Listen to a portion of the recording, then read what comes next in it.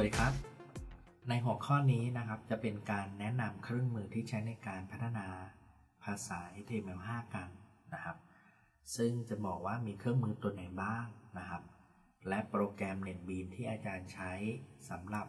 สอนเนื้อหาสัปดาห์ที่ 4 และสัปดาห์ที่ 5 กันนะครับ ประเภทของเครื่องมือที่ใช้ในการพัฒนาเว็บไซต์ด้วยภาษา HTML5 นะครับ ในปัจจุบันก็มีอยู่เป็นจำนวนมากที่สามารถรองรับในการพัฒนาภาษา HTML5 กันได้นะครับ โดยเราสามารถแบ่งเป็นประเภทที่ 1 ก็คือ Text Editor นะครับ ก็อาจจะเป็นพวกของ Edit Plus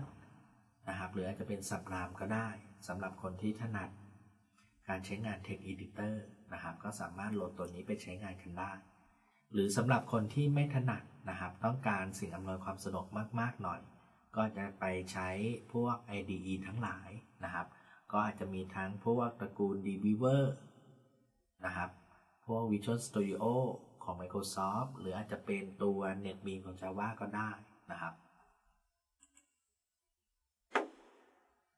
โปรแกรม NetBeans นะครับเป็นโปรแกรมที่อาจารย์ใช้เป็นหลักในการสอนสัปดาห์ที่ 4 และสัปดาห์ที่ 5 นะครับ เอาไว้ฝึกปฏิบัติในแต่ละหัวข้อกันนะครับ ซึ่งตัวโปรแกรม NetBeans นะครับเป็น IDE ตัวหนึ่งที่ถูกพัฒนาขึ้นมานะครับมีสิ่งอำนวยความสะดวกมากมาย และที่สำคัญนะครับก็คือรองรับการพัฒนาภาษา HTML5 กันได้นะครับ แต่นอกจากภาษา HTML5 แล้วก็สามารถเขียนเทสเขียนภาษาอื่น ๆได้ เช่น Java PHP นะครับก็สามารถทำได้เช่นกัน ซึ่งนักศึกษานะครับ เข้าไปดาวน์โหลดได้ที่เว็บไซต์ของ NetBeans นะครับ หลังจากที่นักศึกษาดาวน์โหลดโปรแกรม NetBeans แล้วนะครับ ก็สามารถกดเข้าไปที่โปรแกรม NetBeans ได้เลยนะครับ พอนักศึกษาเข้ามาแล้ว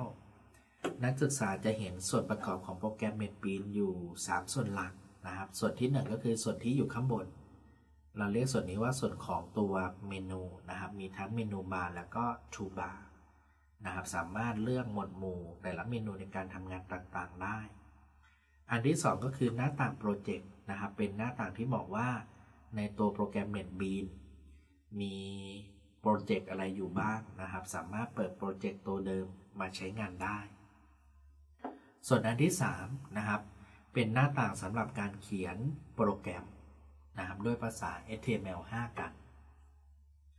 ดังนั้นอันดับแรกเลยนะครับ ไปสร้าง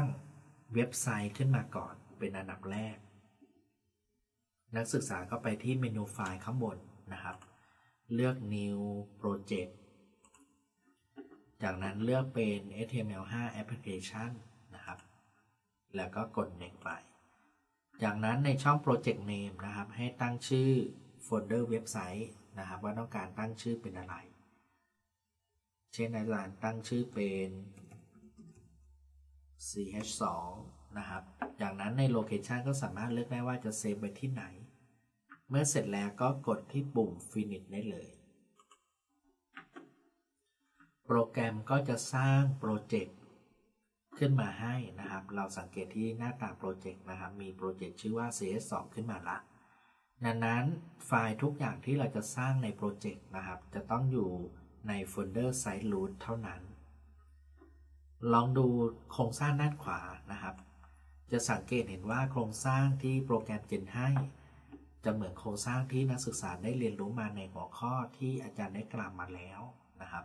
ก็มีลักษณะของตัว doc type นะครับ ประกาศชนิดเอกสาร มี tag head เอาไว้สำหรับกำหนดรายละเอียดต่างๆ ให้กับเว็บไซต์ แล้วก็มี tag body เอาไว้สำหรับใส่เนื้อหาต่างๆ ลงในเว็บไซต์นะครับคราวนี้วิธีการรันเพื่อดูผลลัพธ์การทำงานนะครับ ให้นักศึกษาเลือก เบราว์เซอร์ก่อนว่าต้องการรันด้วยเบราว์เซอร์ตัวไหนนะครับ เช่นอาจารย์ต้องการรันที่ Internet Explorer ก็เลือกไป จากนั้นกดที่ปุ่มลูกศรสีเขียวเพื่อรันโปรแกรม ก็จะได้ผลลัพธ์การทำงานออกมานะครับ ดังนั้นเวลานักศึกษาพัฒนานะครับ นักศึกษาก็สามารถเขียนโค้ด แล้วก็รันดูผลลัพธ์การทำงานได้ เพื่อปรับปรุงแก้ไขให้แสดงได้ตามที่นักศึกษาต้องการ นะครับ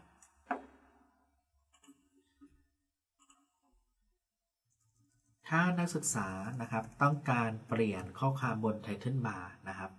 ก็ให้นักศึกษามาใส่ข้อความได้ที่แท็ก Title ในส่วนของแท็ก Head ข้างบนนะครับ เช่นอาจารย์ใส่ว่า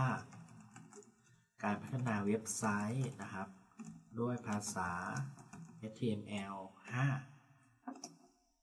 เมื่อเรากดรันโปรแกรมนะครับ ก็จะแสดงข้อความในส่วนของ Table Bar เป็นการพัฒนาเว็บไซต์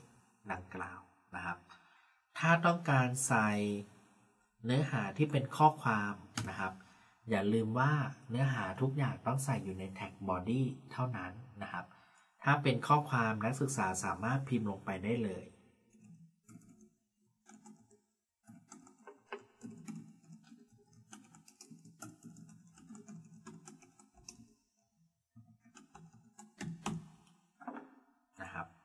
จากนั้นนักศึกษาลองรันโปรแกรมดู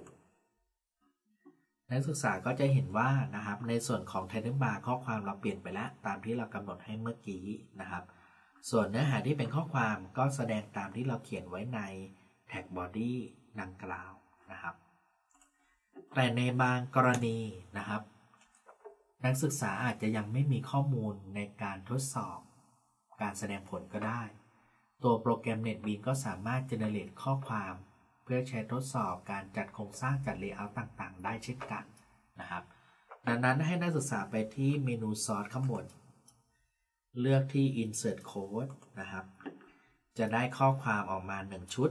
เราเรียกข้อความตัวนี้ว่าเป็นข้อความรอเลมนักศึกษาก็คลิกเมาส์ซ้ายที่ตัวข้อความนะครับ จากนั้นเลือกจำนวนของย่อหน้าที่ต้องการให้มันใส่เข้าไป นะครับ แล้วเราก็มาเลือกแท็กว่าต้องการใช้แท็ก p div หรือ span นะครับ ซึ่งแท็กเหล่านี้เดี๋ยวอาจารย์ได้กล่าวรายละเอียดอีกทีในหัวข้อถัดไป ในที่นี้เลือกแท็ก p แล้วกันนะครับ แล้วก็กด generate